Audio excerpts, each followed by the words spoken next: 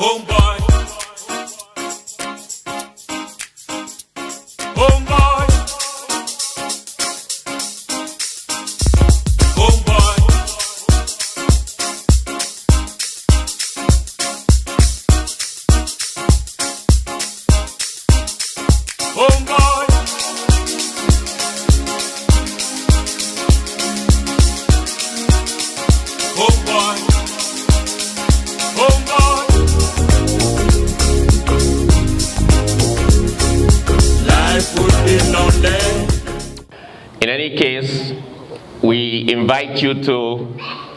Taking a look around.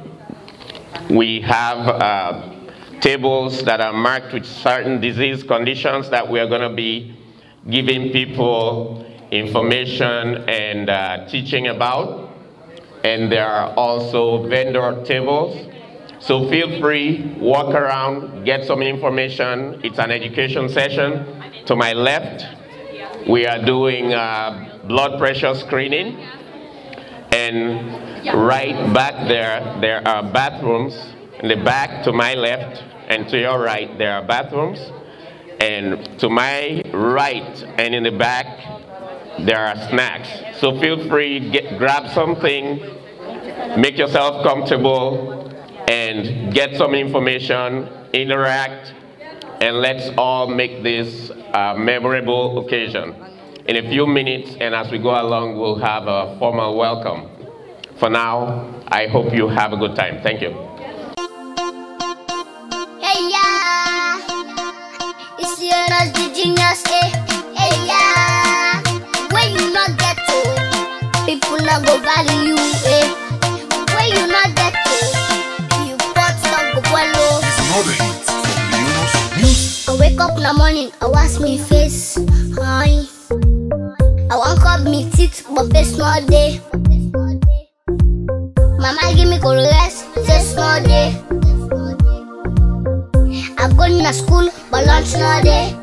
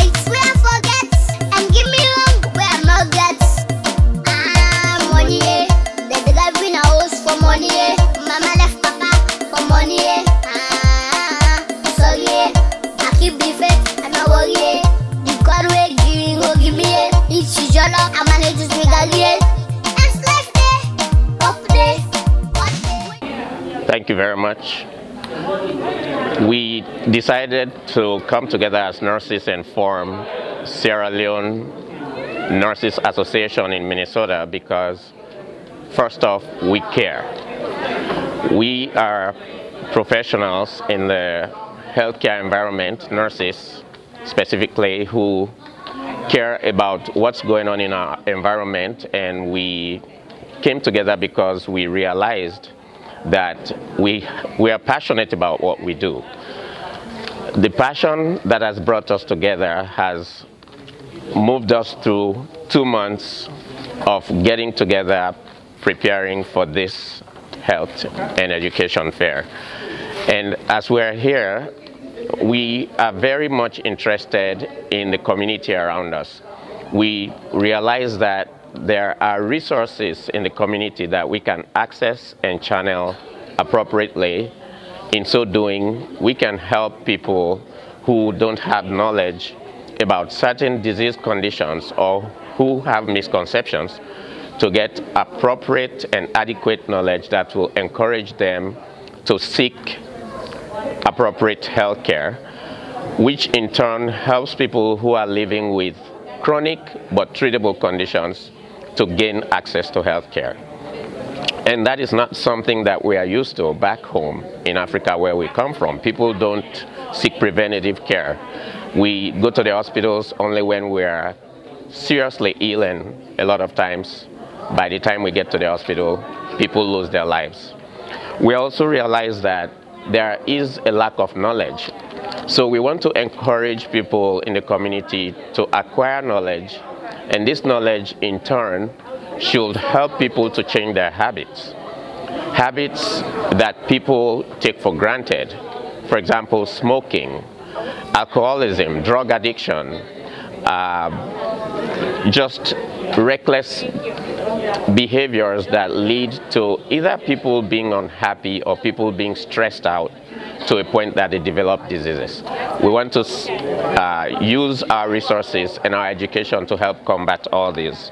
We also want to encourage and assist future healthcare aspirants or other nurses that are aspiring to further their education to higher levels to do so by gaining knowledge into the uh, assistance we can get in the community and in this country at large.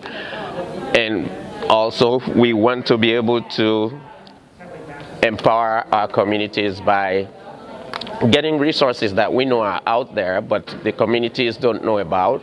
We direct people to these resources and hope these resources can help actually in bringing people to a better lifestyle and better health.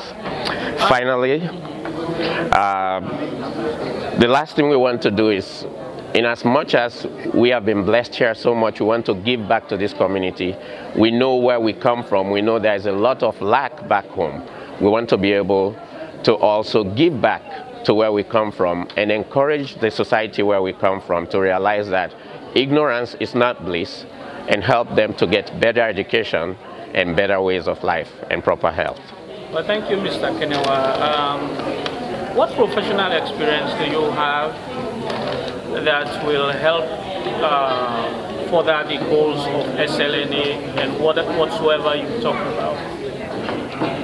I have been a nurse for uh, 11 going on 12 years now and I have a cardiac and intensive care background and I just want to say I have experienced multiple of various disease conditions and with my background I can actually help direct people to certain things that generally out there we don't have knowledge that we don't have access to. I can help in my own little way to direct people to that. Well, thank you very much, Mr. Kenewa. You're welcome. Okay. Um, SLNA Sierra Leone Nurses Association is one of the newest organizations that just got formed in Minnesota.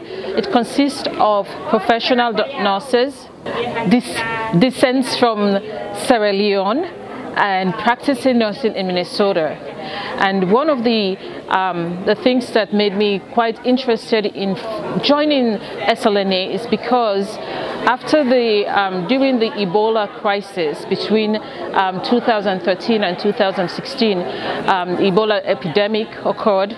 We also had looked at the inadequacies of the healthcare system in Sierra Leone, the lack of access to healthcare, and of course during the civil war, we had total destruction of the healthcare infrastructure in Sierra Leone. So based on those issues, I was inspired to be part of this organization.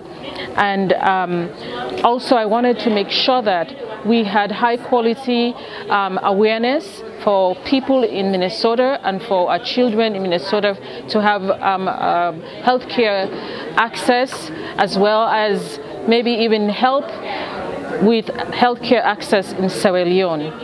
And we are looking at, and the, one of the purpose of the um, SLNA is actually to, one of our goals was to foster healthcare and health wellness in our community, foster networking within professional nurses, work with other healthcare entities in Minnesota, and also to be a part of a community of leaders that are, have are positive role models so that our young youth of men and women who are interested in, in, having a healthcare profession can have access to us and we can be a mentor to them. So we hope, our hope is that we continue to foster wellness, we continue to foster proper health care for people within Minnesota and also extend it to people in Sierra Leone. We are happy to be part of this community and hence our, our, mm, one of our mission is giving back to the community because we care. So we hope to do that for our people and for those back home.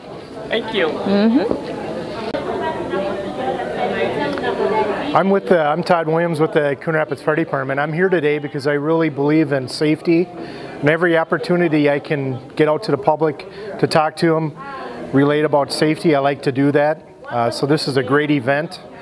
Plus my neighbor Fatima bugged me for three months straight, knocking on my door all the time.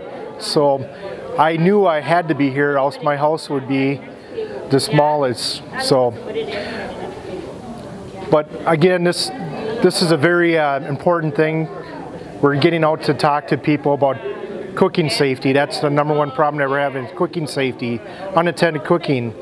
Um, we have problems with cigarettes. People discard their cigarettes not in a proper spot. They put them in garbage cans and their house burns down. Um, a lot of other safety stuff with kids. You need to have a escape plan. Uh, so we're just here to talk to the people and talk to the kids about fire safety.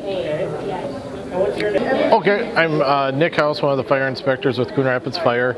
Uh, we're here today to talk with the community about different fire safety tips and how that we can make sure that people are safe in their homes and if there should be a fire that occurs that they're able to escape from their house properly get warned that there's a fire and uh, you know possibly save a life around here.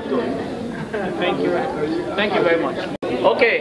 Hi, Fatima. Hi.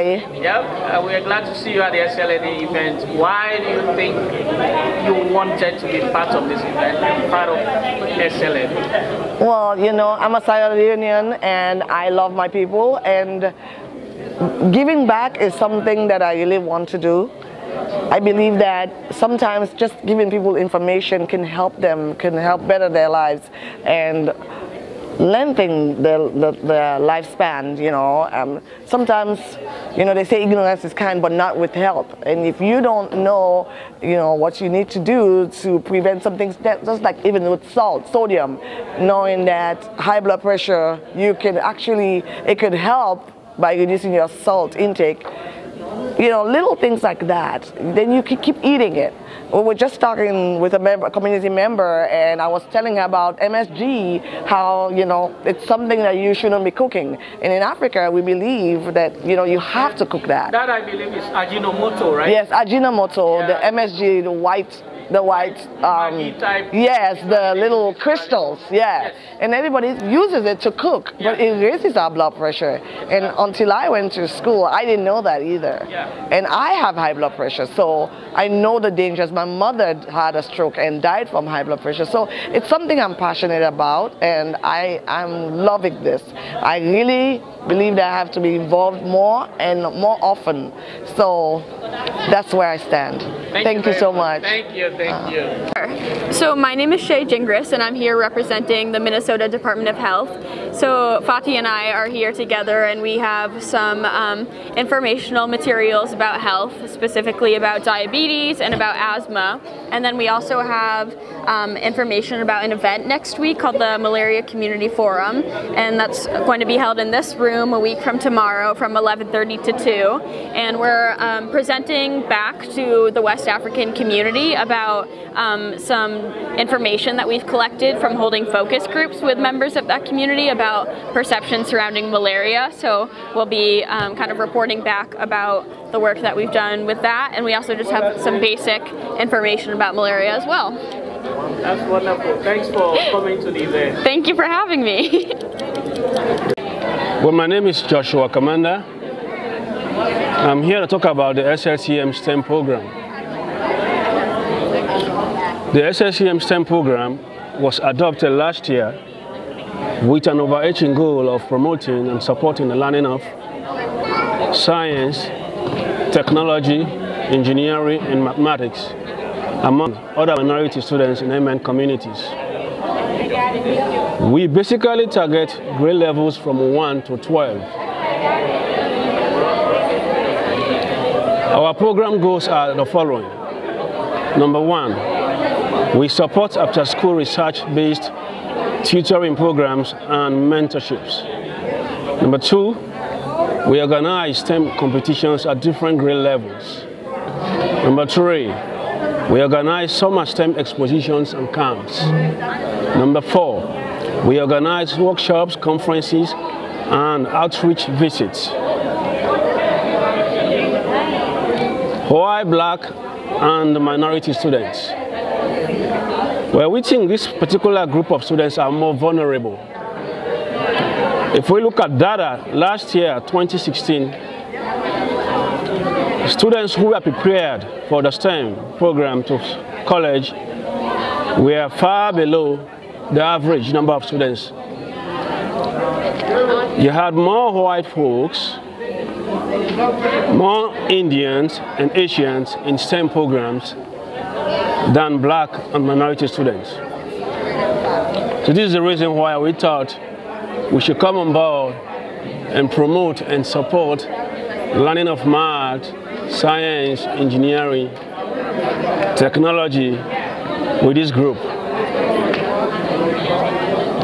As a matter of fact, we have programs coming on. For example, um, in June, in June, on the 24th of June at 11 a.m. to 2 p.m., we have secured funding to showcase an exposition on robotics engineering. And we're going to precisely target students from grade 4 on to grade 8.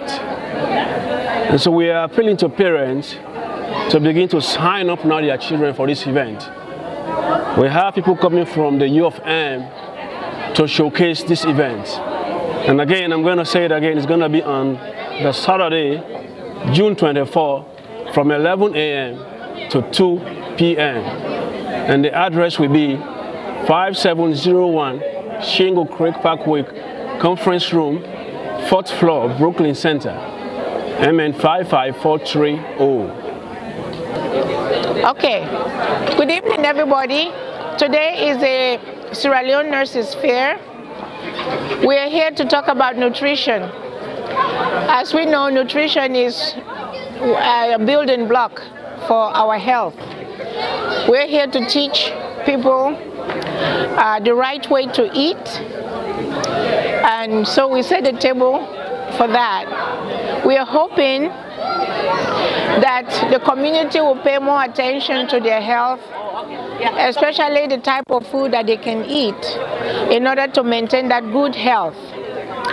In the Sierra Leone community or uh, the African American community, community as a whole, we have a rise in um, diabetes, hypertension, and uh, many other uh, diseases. Um, nutrition being the basic for good health, is good to maintain it. Now I'm going to have my friend say something about nutrition. She's a nurse. This is Nikki. Um, we need your input on this too. Okay, one of the uh, misconceptions about nutrition, a lot of people say, well, I can't really afford, I can't really afford good nutrition. But the fact is, it's a lot more costly to have poor nutrition because then you develop diseases and bad health habits that end up costing you a lot more. So uh, in the long run, it saves a lot of money to have good nutrition and to prevent things like diabetes and high blood pressure and those type of issues. So there's lots and lots of information about good nutrition, uh, free information on the internet. And also with our public health department, they have lots of good information to fall back on. So not only for the adults, but especially for the children, it's really important to develop those good, healthy eating habits early.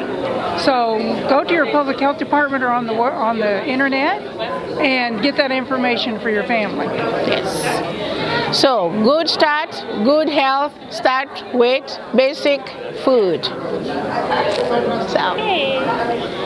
Uh, I'm Hassan Kamara. I work in dialysis. I'm here.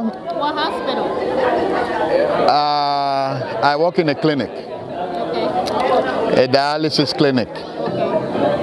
Uh, I'm here, well, to talk about kidney diseases for our community members. Uh, kidney is like a bean-shaped organ, uh, which is at the lower back of the abdomen. Okay, well, I didn't Now, very important organ then at the body. Okay, these are very important organs in our body. They help to filter our blood and remove all toxic materials from the blood. They help to control blood pressure. They also help to produce hormones in our body. They help to produce red blood cells or help the bones to manufacture red blood cells. We, get, we help to keep uh, the hemoglobin level up in our body. Now, when once these kidneys fail, uh, you have very limited options. Either you go on dialysis or you look for kidney transplant, or if you decide to do nothing about it, then it's just a death sentence. Now, what causes uh, kidney failure in our communities? Currently in the US, the two leading causes of kidney failure are hypertension and diabetes. Now, this does not mean that if you have diabetes, you are going to have kidney failure, or if you have hypertension, you are going to have kidney failure. What this means simply is if you have those two conditions and you don't take care of them, it can lead eventually to kidney failure. Although we have two kidneys in the body, we only need one to survive. So when your kidney fails, you either do dialysis, transplant, or you can pass away in, in no time if you don't do anything about it. So I'm here today to talk about kidney to our community members and the lifestyle changes that they need to uh, prevent kidney diseases. People need to be aware of the diet they eat, they, get, they have to be involved in exercises. Uh, these are choices they can do in order to control or cut down the prospect of developing kidney disease. So in short, I have uh, educational materials here that talks about uh, the type of food, drugs, smoke, the effect of smoking, and other activities that affect our kidney, and the preventive uh, measures that we need to take to avoid kidney disease. Mr. Mr. Kamara, if somebody is, is worried that they have kidney disease, is there any way they can know? Is there anything they can do to know? Yes, you can go to, when you go to see your doctor for physicals, you always uh, talk to your doctor to check your creatinine level. You get BUN, urea nitrogen level is an indication, but usually it's not a definitive way of determining kidney failure. Rather, you have to do what they call the creatinine level. There is a particular level when it goes beyond 1.2 and below is considered to be normal. But when you go outside of that, then that will be considered uh, having something to do with your kidneys. So that is a test. When you go to the to see your doctor, they usually do 24-hour urine collection for them to determine the clearance level of your or the activity level of your kidneys. Mr. Mr. Kamara, uh, you are one of the pioneers of this SLNA. I just wanted to ask you about your opinion about SLNA. Um, thank you, Mr. Sheriff, for asking that question. Actually, um, what happened is SL, the Sierra Leone community in Minnesota was founded in 2006. We have been doing a lot of activities in the community, but of late, there were two two catastrophes that happened in Sierra Leone that made some of us started thinking of forming SLNA, the Sierra Leone Nurses Association. One was the Ebola. When the Ebola crisis happened in Sierra Leone, SLCM tried to put together a task force. Some, what is SLCM? SSCM is the Sierra Leone community in Minnesota. We tried to put together a task force in order to look into how we can help our people back home. Well, some people were on that task force who are not, who are not working in the healthcare field. We had a lot of issues. Then came the flooding in Sierra Leone. We also, as SLCM, tried to help victims in Sierra Leone. So after those two activities, we then decided to talk about how can we come together as a community to have healthcare workers together to be taking care of crises like this in our country. That was actually what made some of us think about uh, forming the Sierra Leone National Association, uh, Nurses Association. And um, well, with the work of all of us, I am so happy and impressed, and I'm so uh, glad that I'm very optimistic that SLNA have started on the right footing and we're going to do well with our community. We founded this group for certain reasons. One is, uh, as Sierra Leoneans in this community, there are a lot of resources that we may have access to, which we do not. So I think this group will facilitate those things for us. Other reason is to be able to educate community members to begin to teach preventive measures to our community rather than looking at cure. So these are some of the reasons I think we, we have decided to form SLNA. You will be able to talk to other members who will add to the list. Thank you very much, Mr. You're very welcome, Mr. Sheriff. So our presentation is on mental illness because there's a lot of mental illness in our community that people don't know about. You know, because of the stigma that is attached to mental illness, so people don't talk about it. So today is the time for us to talk about mental illness and to educate people. So Yeah, um, when we talk about mental illness, uh, we want to just make it brief so that people can understand. And one of the major things we want to encourage people to look into is about depression. What causes depression, the form of depression, uh, symptoms, you know, so we try to tell people what they look for. You know, sometimes people feel that uh, mental illness is just when people go uh, crazy. It's like a stigma. They don't want to talk about it. But our hope and desire here is to really emphasize that it's something that uh, can be treated if people are willing to come forward you know, not to be ashamed more in our community because of where we're coming from, because of our cultural background. People have a lot uh, stigma, you know, it stigmatize people, you know, Right. and people even, you know, uh, make fun of people with mental illness. So, but we want to make it that it's something that people should not be ashamed of. Well, um, I just want to ask you a question. Um, usually, you like you live in a house and then and everybody is under a high level of stress in this country because of activities, bills, and all that. So how do you start to know when somebody is going through some mental stress or mental how can you identify that living with somebody in a house that is somebody who needs starting to provide mental health resources for them or identify them as needing mental health resources? Right, like um, some of the symptoms of um, mental illness, um, particularly depression, is um, feelings of sadness, carefulness, and hope, hopelessness, and also angry outbursts and irritability over small issues, and also um, loss of pleasure, especially if you lose interest in activities that you had, you know, enjoyed before, and also um, sleep disturbances.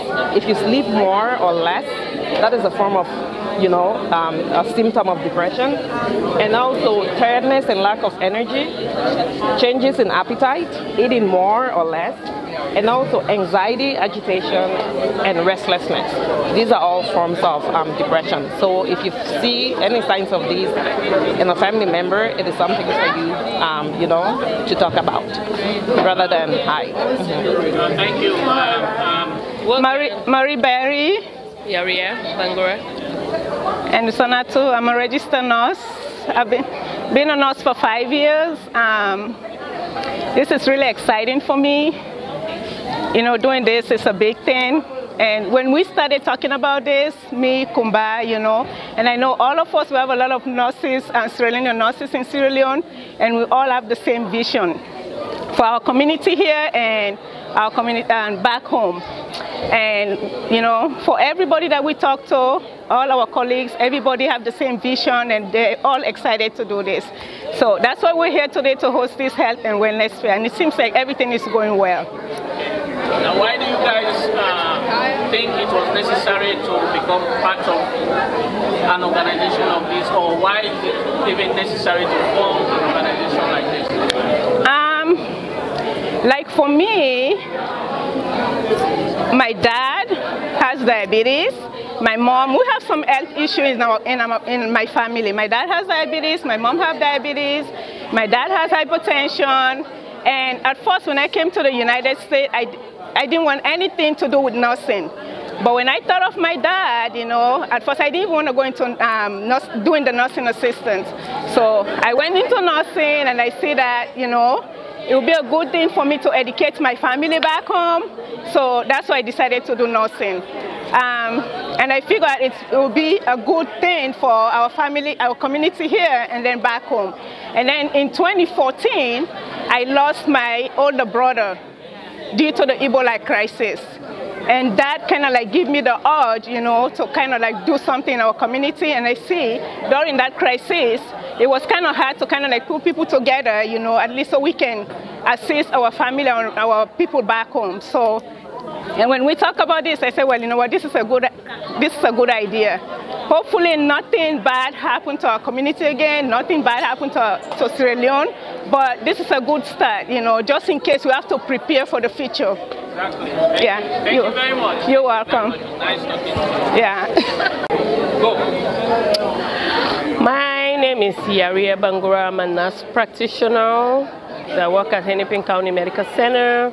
I'm a Sierra Leonean and I'm so happy to be part of this organization, Sierra Leonean Nursing Association, um, because our goal for this um, organization is um, to be able, you know, to help our community to understand the risks and benefit of being healthy in our community. And I am really, really proud of us coming together and doing this because we're really, really, you know, our community really, really needs to be educated about, um, about health and wellness and the resources that they can get to help them, you know, with their health. So that's why, you know, I'm so proud to be in this organization. And also, we can be able to give back to our country, the people that are back there. Because I remember when we had the Ebola, so many people died and were not able to contribute. As nurses in Minnesota, we're a lot of nurses here that we know that, you know, we can be able to be a contribution and give back to our country. So I'm really, really proud of what we're doing. And I'm hoping for this to move forward and then as an organization doing something good for our country. Thank you very much. You're welcome. Ready? Uh, hello everybody, my name is Anthony Alpha Bangura. I'm a member of the SLNA group. My purpose for the group is to, you know, meet with fellow nurses and trying to figure out a way of helping our community. I know it's very important to give back to our community and this is really what's moving me or what's pushing me to be a part of this group. And I'm excited to be, you know, in this group and, you know, trying to bring in whatever information, whatever ideas I have to kind of promote community health to our fellow Sierra Leonean that lives here in Minnesota and also those back home and um, just kind of connect with other nurses and you know share ideas and see how best we can all collaborate to help our community together. Thank you very much.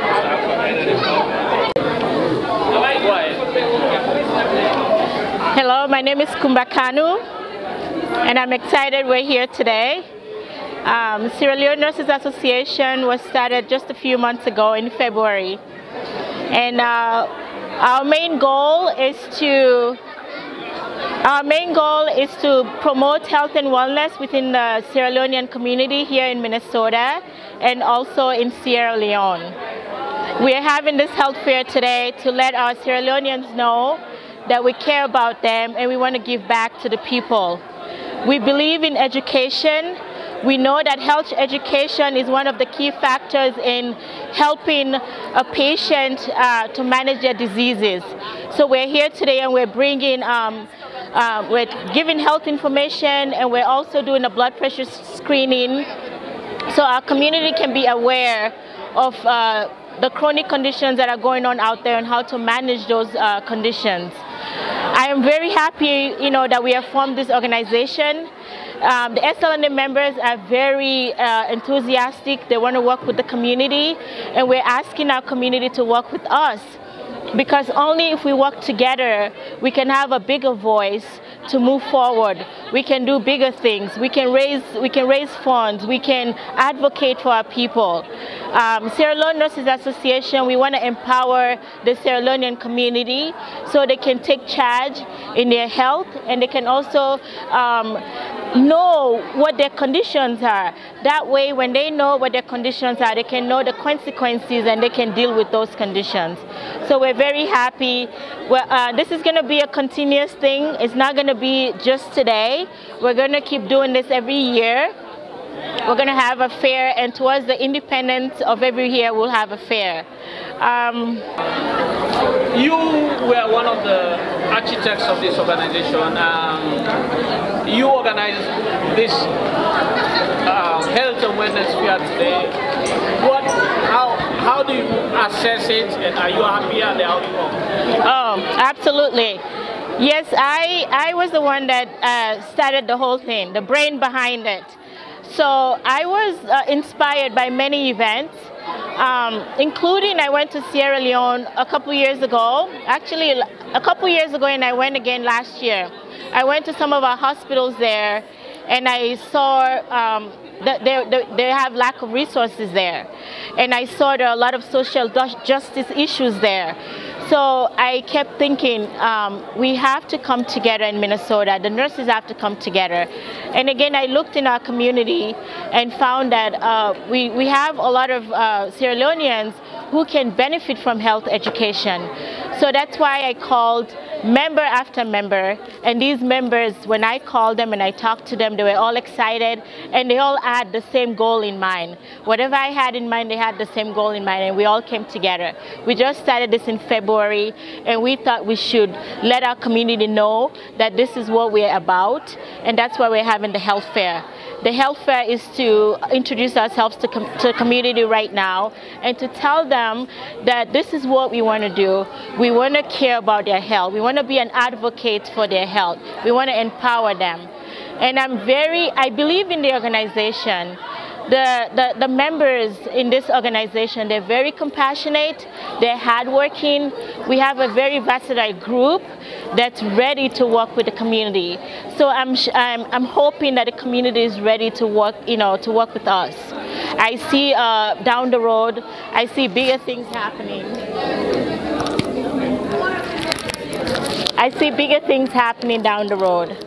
So, um, and uh, Sheku, um, you've been a, a, a, one of the pioneers of this uh, organization as well. And I thank you. I thank all the members of the organization because it's only when we come together that we can have a bigger voice.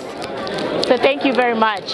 Tonight has been great so far. You know, and everybody's here. People are learning a lot. So thank you very much the, the, real reason why I am um, so excited about SLNA is um, if just based on the history of the healthcare challenges of our country. When we were born, like we were born in the eastern area of Sierra Leone, um, our hometown Segbwema had a very wonderful hospital, the Nixon Memorial Hospital. It was um, one of the best healthcare institutions around that whole area. People used to come from Guinea, uh, Liberia to come and access the healthcare services. During the war, um, all those facilities were destroyed, and that just mirrored what happened in other areas of Sierra Leone, um, the north, the west, the east. A lot of healthcare resources were destroyed.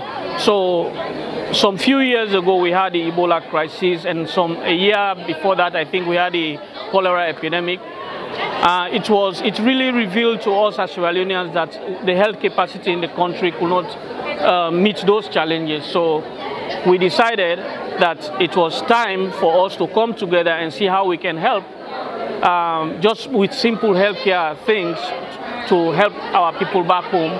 First, educate our members here about their taking care of their health and then try to mobilize resources. And so that if we have crises like this, we have a professional organization whose members are ready and willing to meet healthcare stakeholders in Minnesota to help back home. So we are very excited about um, SLNA, Sierra Nurses Association in here in Minnesota.